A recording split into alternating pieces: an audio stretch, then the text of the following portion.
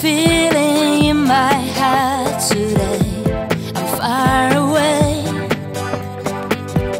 getting up and late at work today. I'm far away. Someday.